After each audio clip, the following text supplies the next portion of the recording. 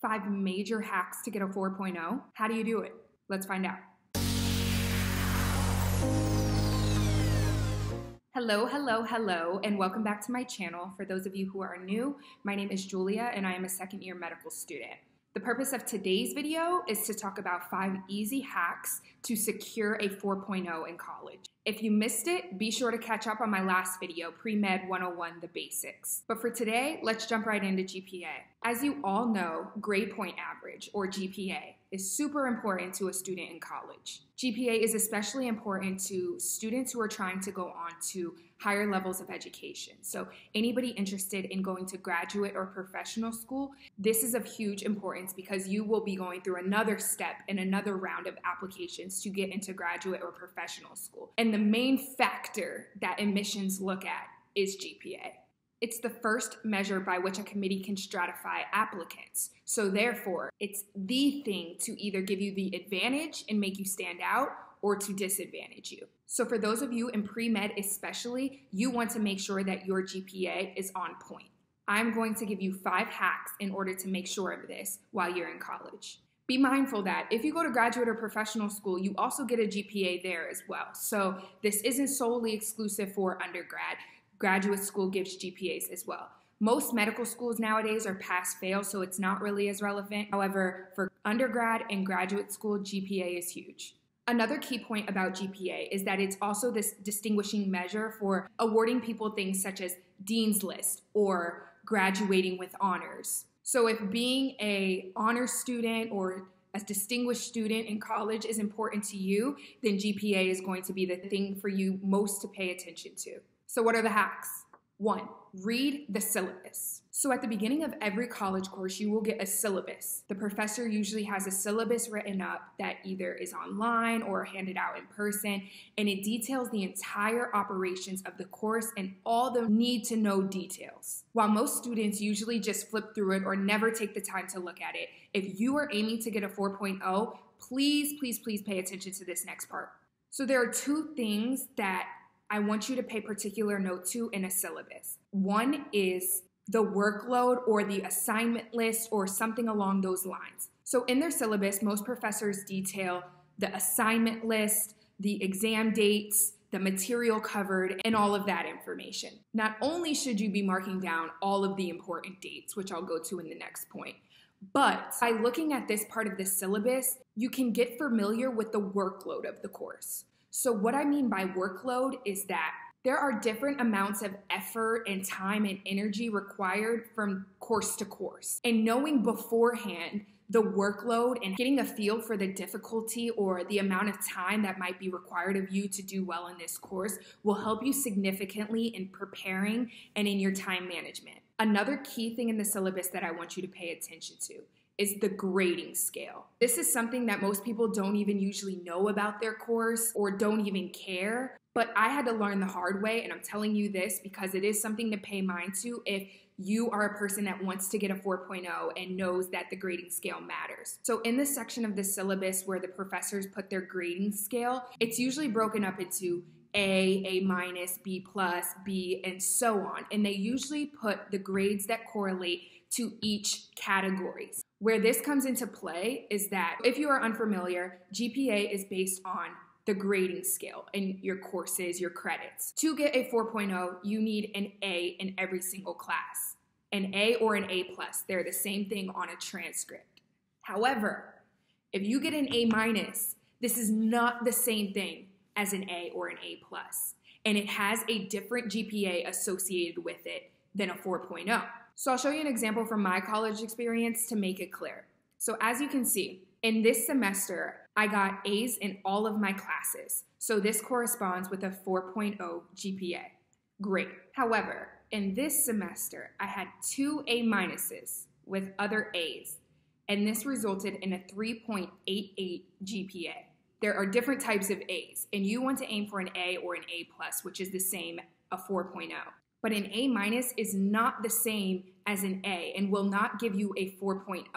So be sure to pay attention to the grading scale and a syllabus because this is where the professors detail how they're grading. And some use pluses and minuses, and some don't and just use A, B, C, D, F. So you need to pay note of that because you averaging a 95 versus a 93 in a course could mean the difference between an A and a 4.0 and an A minus and not a 4.0. So to summarize point one, make sure you read the syllabus. Get familiar with the workload and how much is going to be required of you for the course, and also pay mind to the grading scale so that you know which grades you need to achieve in the course in order to get a 4.0. Second, scheduling and time management.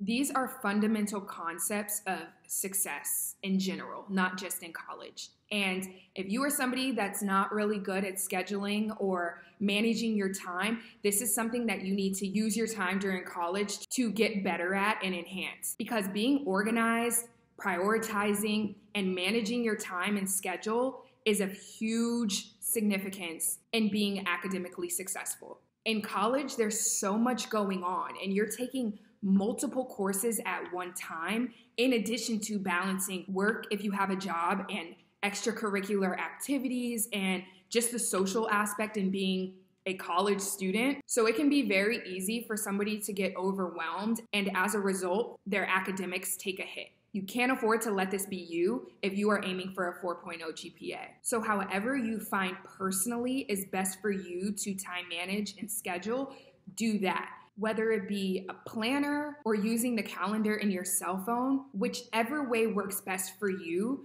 that you find is effective in managing your time, stick with that.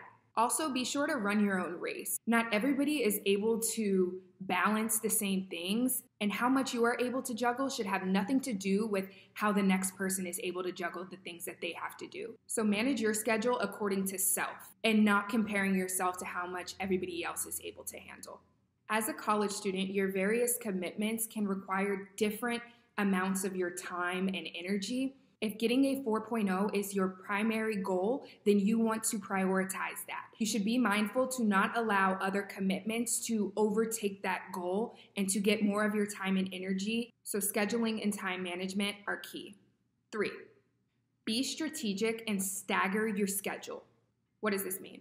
So, in your degree, you will have specific prerequisites that you are required to fill in order to graduate. You will know this. If you do not know this, go see your advisor. But how it usually works is in your first year or two of college, you're taking very general introductory level courses. And in your junior and senior year, you're then working your way up to the higher level courses that are in depth content for your specific major. This is where the classes often start to get more difficult and require much more time and energy from you. So, being that you have a specific amount of courses and credits that you need to complete before you graduate, many students, especially in the age of student loan debt, are trying to finish as much of this coursework as quickly as possible and even graduate early to save money. But even if you're working at the normal pace of four years, be mindful that you do not overload yourself on credits. So each course has different credits or credit hours associated with it.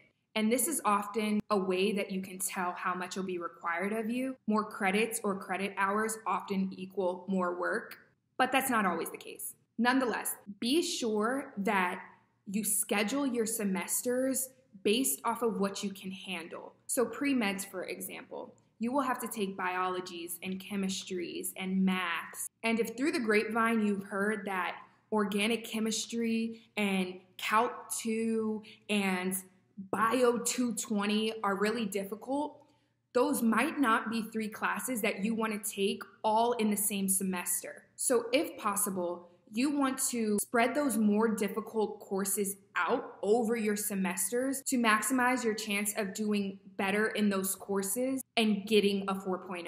Another strategy that I also did was to take summer classes. So during the summer, most college students are not in classes and they're usually just enjoying their time or working or traveling back home to see family. And I maximized on that because most colleges and universities offer summer classes, and those classes usually have way less students. The professors are usually more engaged with each student individually.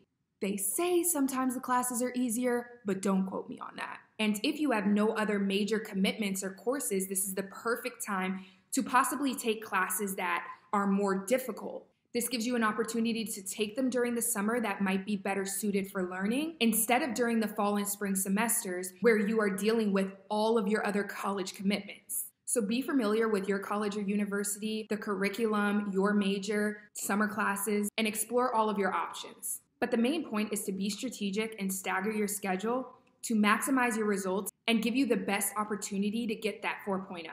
Fourth point, utilize office hours and study groups.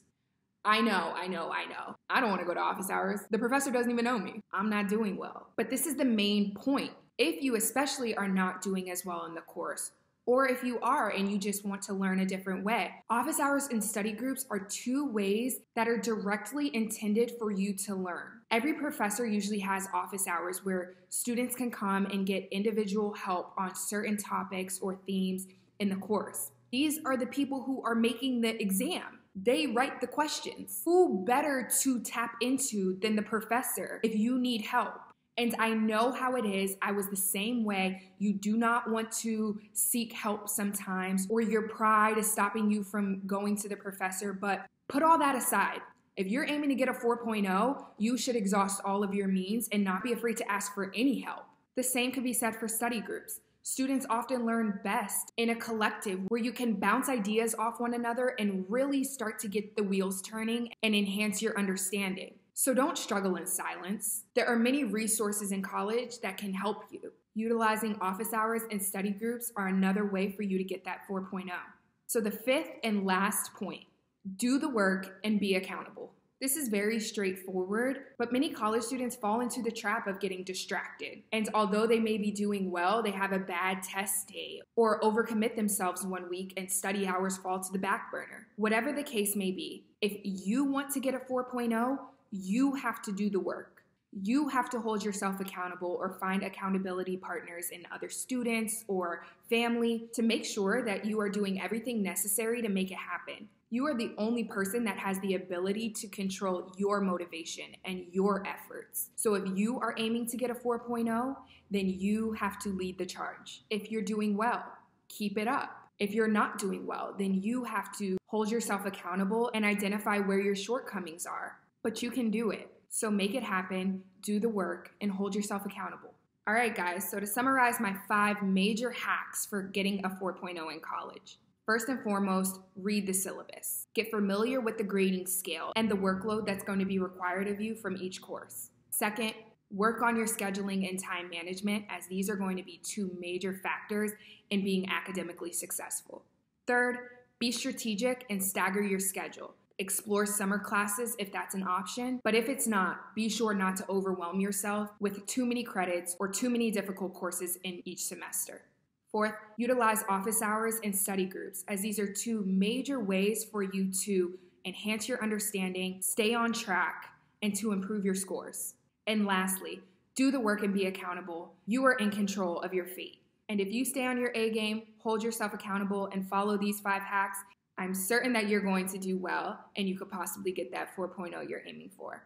All right, guys, so leave me a comment below and let me know your study hacks or strategies that you use to get a 4.0.